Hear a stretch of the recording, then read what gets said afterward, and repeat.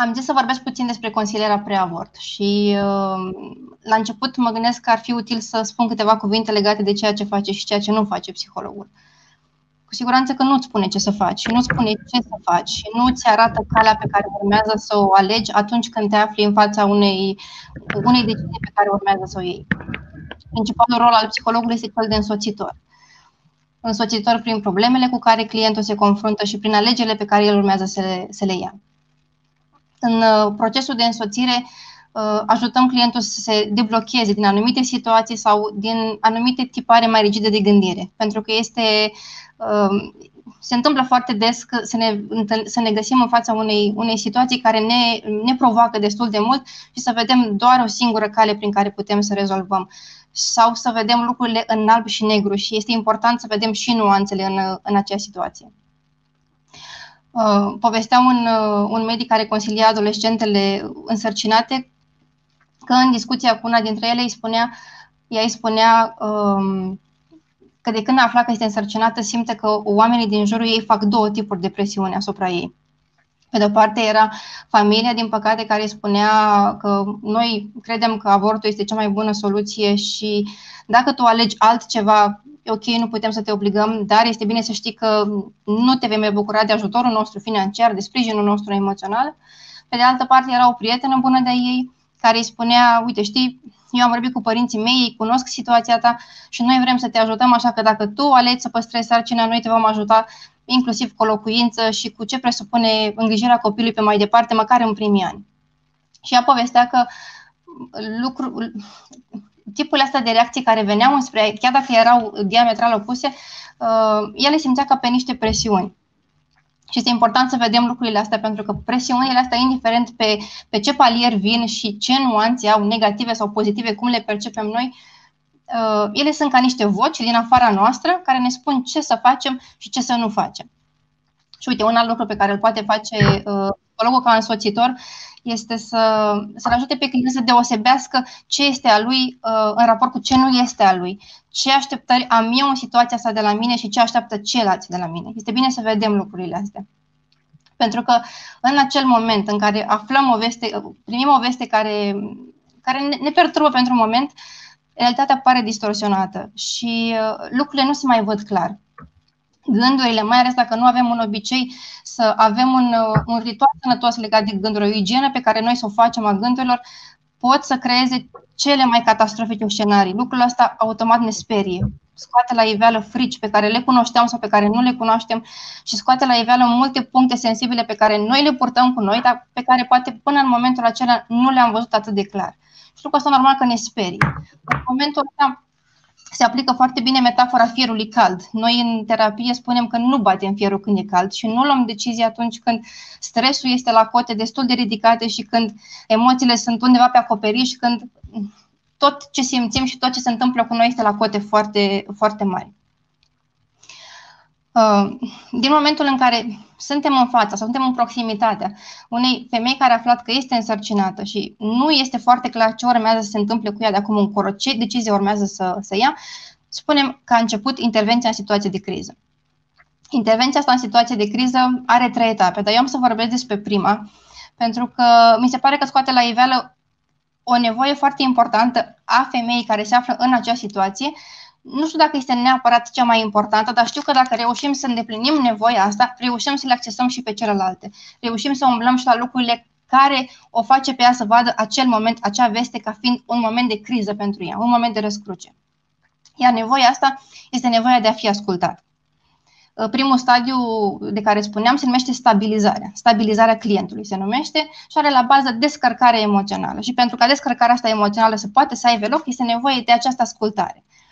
Pare ușor, dar poate fi și provocator, pentru că noi când ascultăm, indiferent de pe ce poziție și de pe ce rol ascultăm, avem și noi setul nostru de, de informații, setul nostru de prejudecăți, setul nostru de sfaturi pe care simțim nevoia să le, să le oferim pentru a ne simți util, pentru a ști că am făcut ce a ținut de noi atunci când ne-am aflat în fața unui, unui om care se confruntă cu o situație problematică pentru el în acel moment.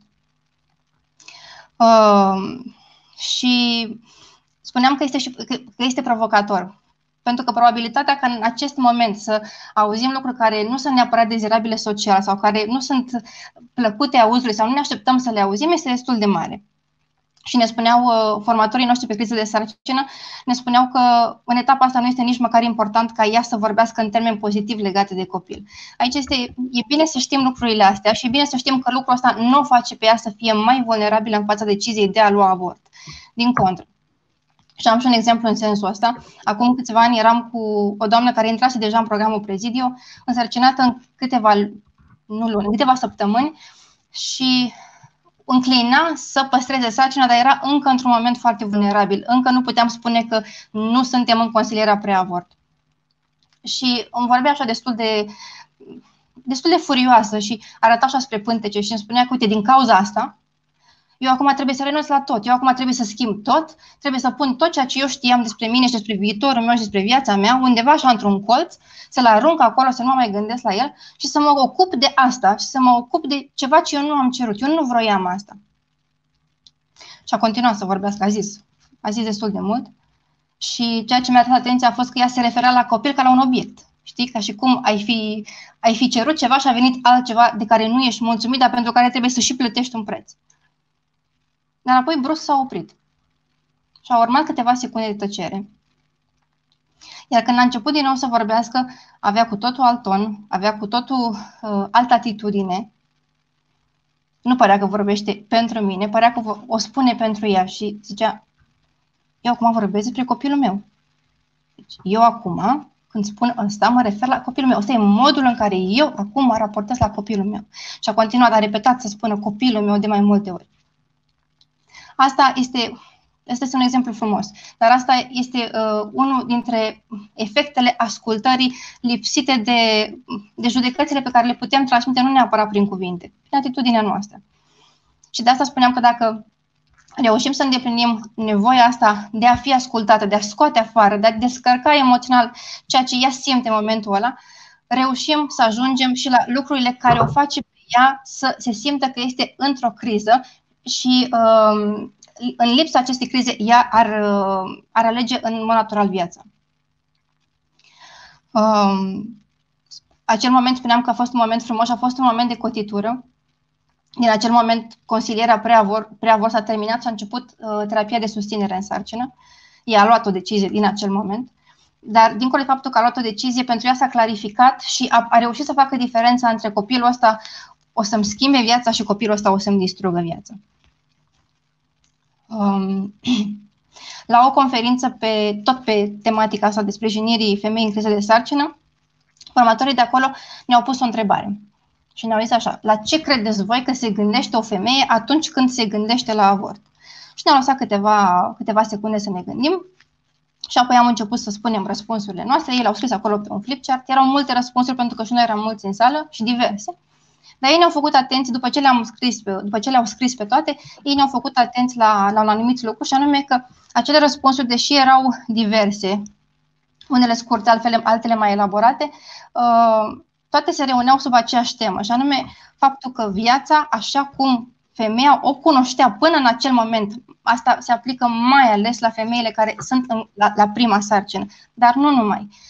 Viața, așa cum ele o cunoșteau până în acel moment, urmează să se termine și în contextul ăsta ne făceau tot ei atenți, e bine să înțelegem care este motivația ei și modul în care ea uh, tinde să ducă spre o opțiune sau spre cealaltă. În contextul ăsta, reacția ei de a, se, uh, de a se gândi serios la avort, de a lua avortul ca pe o opțiune viabilă, este ca un fel de self-defense, este ca un fel de autoapărare. De aceea, uh, noi și spunem lucrul ăsta că femeile aleg avortul Așa cum un animal care este capturat alege să-și roadă piciorul care este prins în capcană pentru a se libera de acolo. O percepe ca, exact ca pe o capcană. Și normal că asta presupune răni și asta presupune durere. Și la fel de important, asta presupune o parte din tine care rămâne acolo la locul accidentului. Pe lângă consilierea preavort, o parte importantă a departamentului este și terapia post-avort și a se observa și puțin și diferența între consiliere și terapie. Consilierea preavort însoțește clientul până când acesta reușește să ia, să, să ia o decizie. Uh, terapia post-avort umblă mult mai în profunzime și uh, pe lângă lucrurile pe care le-a, uh, de care a vorbit uh, părintele Cosmin, aș mai adăuga și faptul că în terapia post-avort umblăm mai mult la rădăcină, cum ar fi. Este metafora asta frumoasă a copacului. Dacă vrei să ajuți un copac să crească în cel mai frumos mod în care el poate crește și în care el poate da roadele lui și te poate bucura prin roadele lui, este să umbli la rădăcină. Desigur că poți să umbli puțin și la trunchi, poți să mai vezi acolo la crengi ce mai este uscat să le mai, să le mai cureți, dar dacă vrei să ajuți copacul să crească el singur și să se dezvolte el în felul, în, în cel mai frumos fel uh, în care el se poate dezvolta este să umbli puțin la rădăcină și să, te, să te umbli, să vezi dacă acolo are tot ce trebuie, dacă pământul este prielnic, dacă el își poate lua resursele și hrana de care are nevoie singur. Și atunci în, în terapia, în terapia post-avort ne centrăm mai mult pe variabilele care au făcut-o pe femeie să, să fie vulnerabilă în fața deciziei de avort și nu neapărat pe decizia în sine. Și o terapie de lungă durată. Și exact cum a zis și părintele Cosmin, nu poți să lucrezi pe ceva pe care tu nu ești convins că, nu, că este o problemă. Da? Deci este important să, să, să ne întâlnim în punctul acela în care să acceptăm că lucrul ăsta mă deranjează, lucrul ăsta mă tulbură. Da? Indiferent că este vorba la, că este o distanță de de câteva săptămâni, de câteva luni sau, cum am mai întâlnit noi, de câțiva ani de la momentul avortului. Uh, au fost câteva cuvinte, mai mult legate de consilierea preavort și uh, ceea ce pentru mine a fost important a fost să, uh, să evidențiem nevoia asta, cel puțin prima care apare, nevoia asta de, de a asculta și de a nu judeca și de a lăsa uh, femeia să, să scoată afară, să, să se descarce astfel încât după aceea, după ce ea se eliberează și se liniștește și revine cu emoția la un nivel optim, să putem să uh, vedem ce alte nevoi mai are de îndeplinit și să putem să, uh, să mergem să oferim acel ajutor real.